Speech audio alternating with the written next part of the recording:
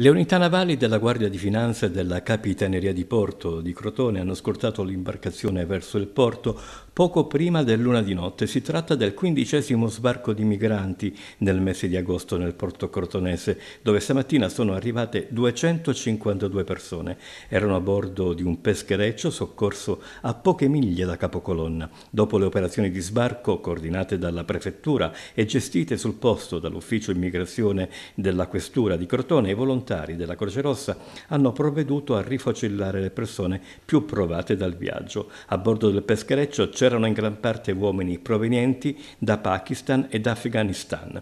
Tra loro dieci minori non accompagnati, tre donne. I profughi sono stati trasferiti, come sempre, al centro d'accoglienza di Isola Caporizzuto.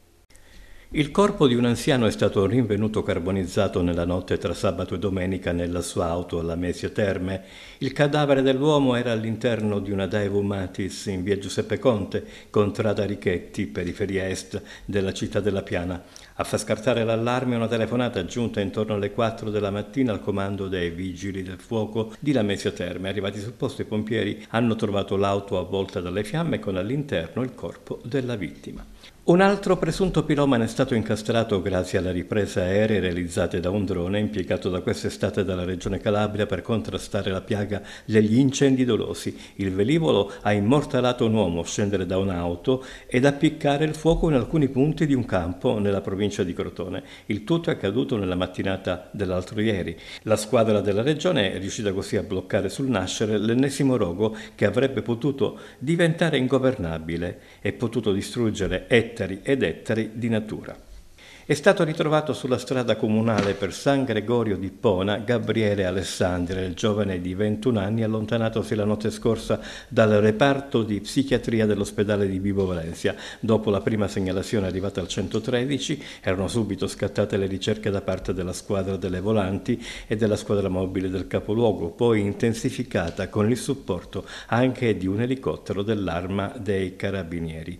Grande preoccupazione a Gioiosa Ionica per un 25enne che è stato colpito da una giostra in movimento e accaduto durante i festeggiamenti per San Rocco dove è stato allestito un Luna Park come di consueto.